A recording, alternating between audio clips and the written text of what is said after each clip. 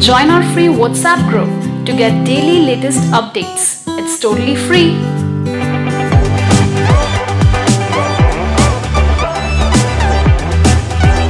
Part 1 Listen to the conversation between Denise, who was a college receptionist at a language school, and Vijay, who was a student. First, you have some time to look at questions 1 to 6 on the form now.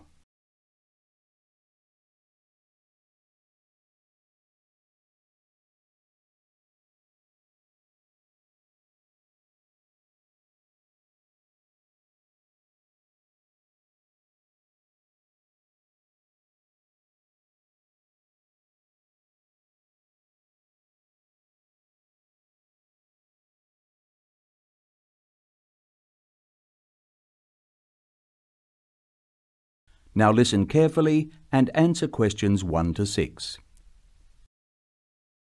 Hello, may I help you?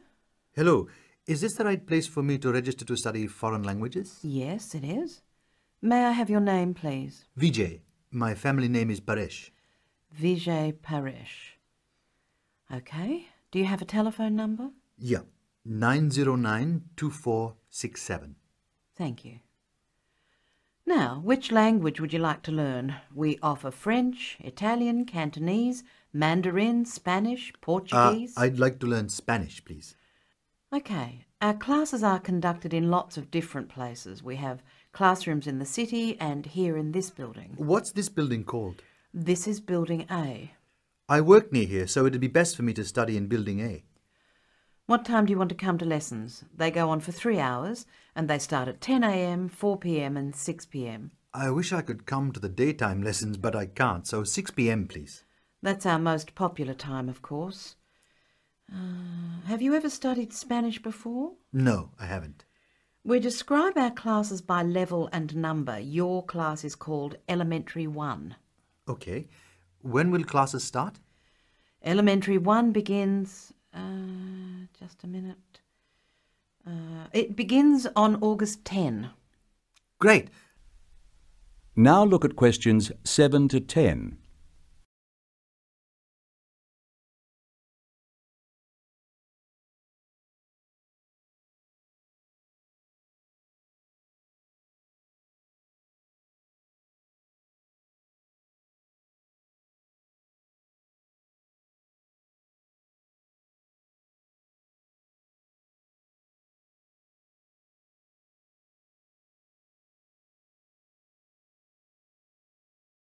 Listen carefully and answer questions 7 to 10.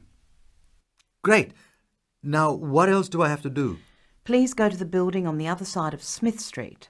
I want you to go to the reception area first. It's just inside the door on the left as you enter from Smith Street. Give them this form. Okay. Do I pay my fees there? No, but the fees office is in the same building. Go past the escalators and you'll see a game shop. It's in the corner. The fees office is between the game shop and the toilets. Thanks. Uh, where can I buy books? The bookshop is opposite the lifts. It's right next to the entrance from Robert Street. Your offices are spread out. Not as badly as they used to be. By the way, we offer very competitive overseas travel rates to our students. Oh, I'd like to look into that. Of course. The travel agency is at the Smith Street end of the building, in the corner next to the insurance office. Thank you very much. Bye. That is the end of Part 1. You now have half a minute to check your answers.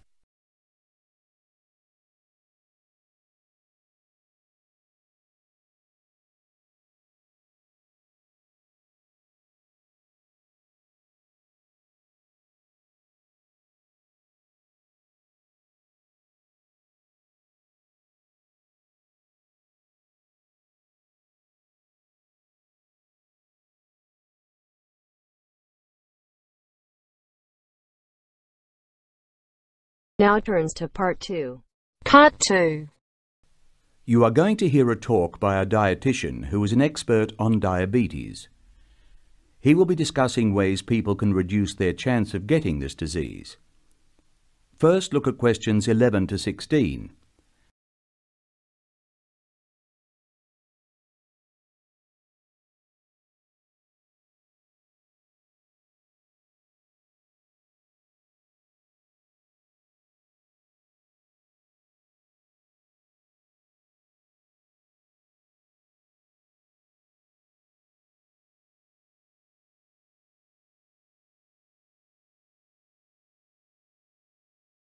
As you listen to the first part of the talk, answer questions 11 to 16. Hi, I'm Peter Johansson, an accredited practicing dietitian. Over the past few weeks, we've been talking about the increasing health problem of diabetes, and particularly type 2 or mature onset diabetes, which represents 85 to 90 percent of cases.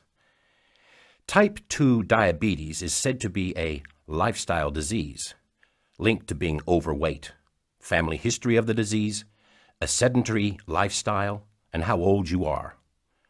Although you can't change your age or your family, there are things you can do to reduce your risk. One of the reasons why type 2 diabetes is increasing is because more Australians are overweight than ever before, and we are getting heavier. So, why are Australians getting fatter? There are a number of theories, but it is probably a combination of moving less and consuming more fat. As a nation, we have considerable room for improvement in our eating and physical activity habits. Healthy eating, in combination with regular physical activity, is vital to maintaining an ideal body weight, preventing future weight gain, and losing weight if you need to. Eating less fat is a sure way to eat fewer calories and still be able to eat satisfying quantities of food. If you are interested in learning more about healthy shopping, learn to read food labels and become a fat detective. Eating plenty of whole grain breads, cereals, fruit, and vegetables will provide you with valuable nutrients without too much fat, provided you prepare them using only small quantities of healthier fats, such as olive or canola oil, nuts, seeds, and avocado. Using low fat dairy products, lean meat, and skinless chicken in moderate amounts will also help. Aim for at least a couple of fish meals per week. The companion solution is physical activity. It's about moving your body more through the day to help burn energy, and every little bit counts. For health benefit, you only need accumulate 30 minutes of moderate physical activity most days, and you can do it in three 10 minute lots. You will have more get up and go after achieving this 30 minutes a day goal, and you don't need any special equipment. Walking, gardening, and housework all count. It's like the ad says exercise. You only need to take it regularly, not seriously. Now look at questions 17 to 20.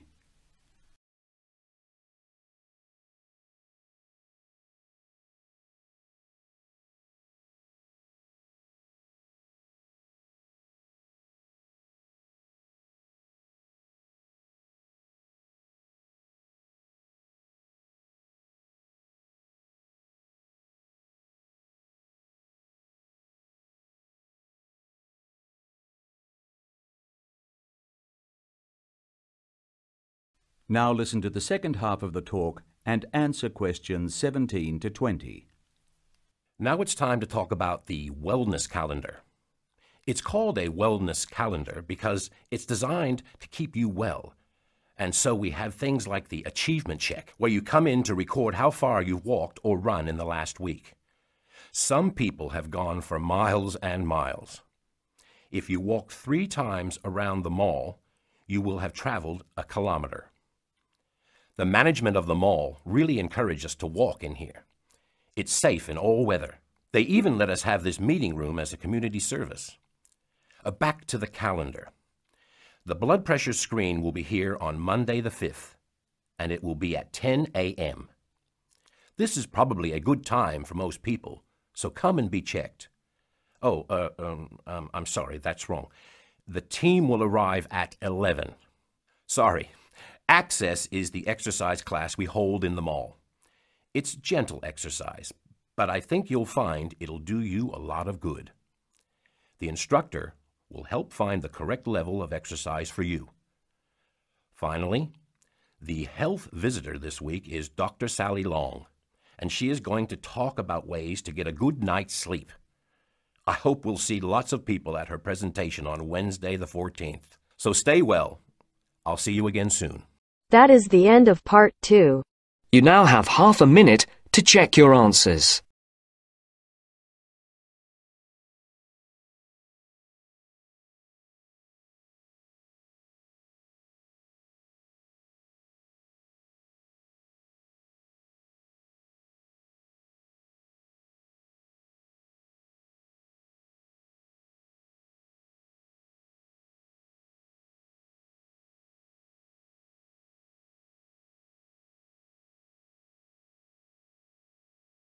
Now turns to part 3. Part 3. You will hear a discussion between a tutor, Dr. Lester, and two students, Greg and Alexandra, at the end of a talk about music.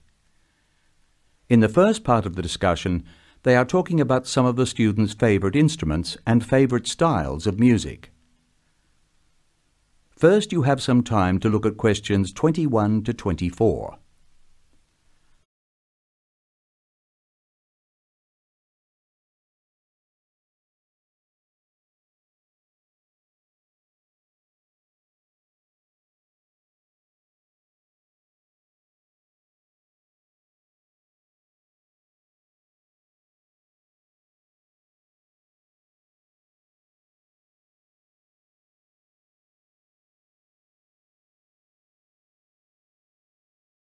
I think it's time we looked at the results of our survey.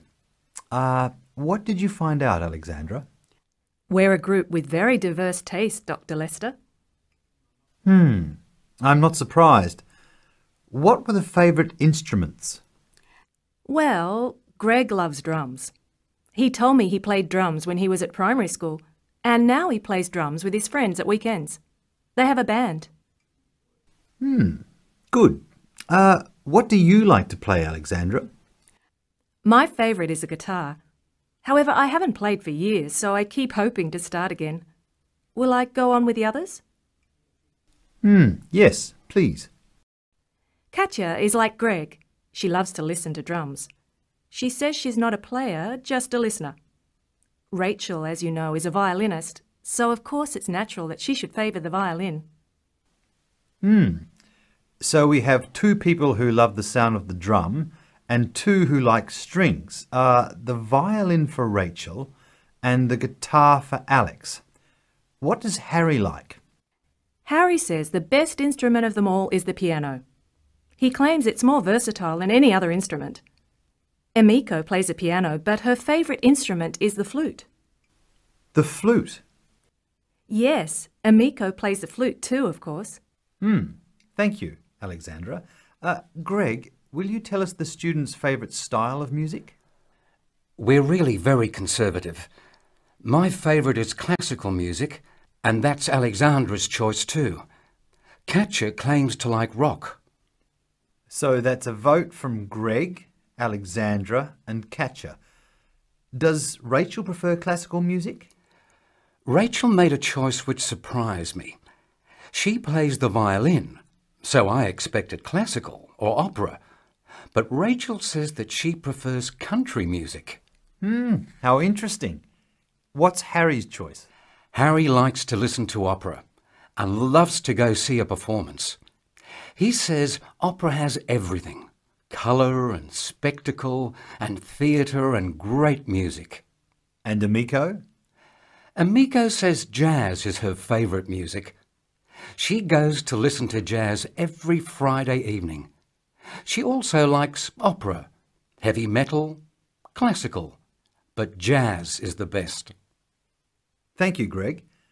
I wanted to see what you all liked so I could understand your musical tastes more, and I want to move from this to a discussion of the psychological effects of music. In the second part of the discussion, Dr. Lester will talk about the way music affects our bodies. Look at questions 25 to 30 first.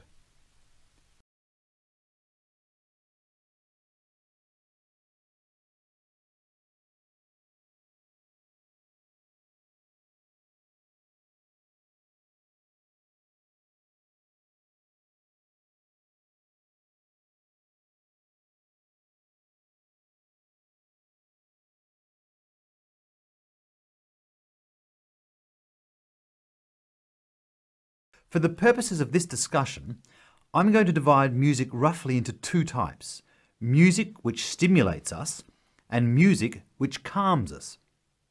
It seems that music which stimulates us gives rise to actual changes in our bodies. We listen to exciting music, and our hearts beat faster, our blood pressure rises, and our blood flows more quickly. In short, we're stimulated. Soothing music, however, has the opposite effect. We relax and let the world go by. Our heart beats more gently, our blood pressure drops, and we feel calm. Um, Alexandra, can you think of things which help us to relax? Um, gentle rhythms? Yes, in part. The melodies which help us to relax are smooth flowing and often have repeated rhythms. These rhythms are constant and dynamic, a little like the crash of the sea on the beach.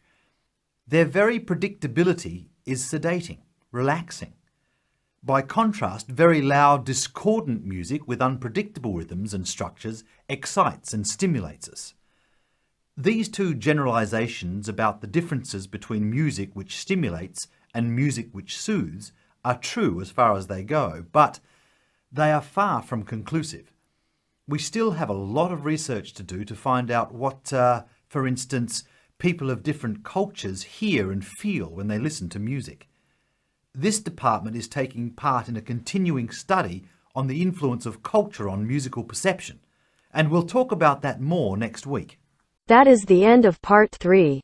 You now have half a minute to check your answers.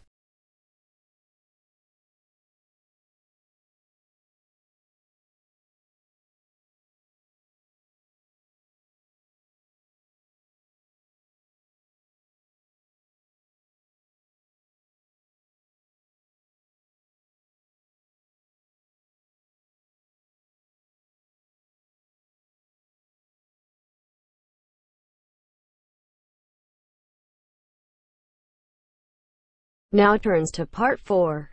Part 4 You will hear an extract from a talk about preventative medicine, specifically how students can look after their own health. First, you have some time to look at questions 31 to 40.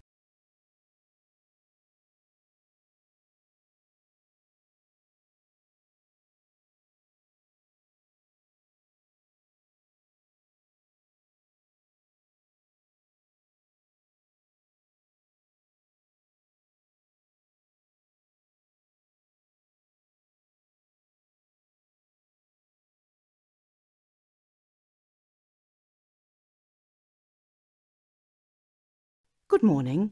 I'm Dr. Pat Parker, and I'm here to talk to you about preventative medicine in its widest and most personal aspects. In other words, I'm here to tell you how the patient should wrest control of their health away from the practitioners of medicine and take charge of their own medical destiny. I want to talk about staying out of the hands of the doctor. When the patient takes responsibility for her or his own health, and let's decide the patient is male for now, men are in fact more at risk than women anyway, when the patient takes over his own health regime, he must decide what he wants to do. The first thing, of course, is to give up the demon nicotine. Smoking is the worst threat to health, and it's self-inflicted damage. I have colleagues who are reluctant to treat smokers. If you want to stay well, stay off tobacco and smoking in all its manifestations. Our department has recently completed a survey of men's health. We looked at men in different age groups and occupations, and we came up with a disturbing insight. Young men, particularly working class men, are at considerable risk of premature death because of their lifestyle. As a group, they have high risk factors. They drink too much alcohol, they smoke more heavily than any other group, their diet is frequently heavy in saturated fats, and they don't get enough exercise. We then did a smaller survey in which we looked at environmental factors which affect health. I had privately expected to find air or water pollution to be the biggest hazards, and they must not be ignored. However, the effects of the sun emerged as a threat which people simply do not take sufficiently seriously. Please remember that too much sunlight can cause permanent damage. Given this information and the self-destructive things which people, particularly young men, are doing to themselves, one could be excused for feeling very depressed. However, I believe that a well-funded education campaign will help us improve public health standards and will be particularly valuable for young men. I'm an optimist. I see things improving, but only if we work very hard. In the second part of the talk, I want to consider different things that you, as students, can do to improve your fitness. So now I'd like to issue a qualification to everything I say. People will still get sick, and they will still need doctors. This advice is just to reduce the incidence of sickness. It would be great if disease were preventable, but it's not. However, we have power. In the late 80s, the Surgeon General of the United States said that 53% of our illnesses could be avoided by healthy lifestyle choices. I now want to discuss these choices with you. You should try to make keeping fit fun. It's very hard to go out and do exercises by yourself, so it's wise to find a sport that you like and play it with other people. If you swim, you can consider scuba diving or snorkeling. If you jog, try to find a friend to go with. If you walk, choose pretty places to walk or have a reason for walking. Your exercise regime should be a pleasure, not a penance. The university is an excellent place to find other people who share sporting interests with you, and there are many sports teams you can join. This unfortunately raises the issue of sports injuries, and different sports have characteristic injuries. As well as accidental injuries, we find repetitive strain injuries occurring in sports where the same motion is frequently performed like rowing and squash. The parallel in working life is repetitive strain injury which may be suffered by typists or other people who perform the same action hour after hour, day after day. In this context, therefore, the most important thing to remember before any sport is to warm up adequately. Do stretching exercises and aim at all times to increase your flexibility. Be gentle with yourself and allow time to prepare for the game you have chosen to play. Don't be fooled by the term warm-up, by the way. It's every bit as important to do your warm-up exercises on a hot day as on a cool one. I think one of the most sensible and exciting developments in the reduction of injury is the recognition that all sports can borrow from each other. Many sports programs are now encouraging players to use cross-training techniques. That is, to borrow training techniques from other sports. Boxers have been using their cross-training for years, building up stamina by doing road work and weight training while honing their skills and reflexes. Other sports which require a high level of eye-hand coordination are following this trend. So you see table tennis players running and jogging to improve their performance, and footballers doing flexibility exercises which can help them control the ball better. All of these results are good, but the general sense of well-being is best and is accessible to us all, from trained athletes to people who will never run a 100 metres in less than 15 seconds. Good health is not only for those who will achieve athletic greatness. That is the end of part 4. You now have half a minute to check your answers.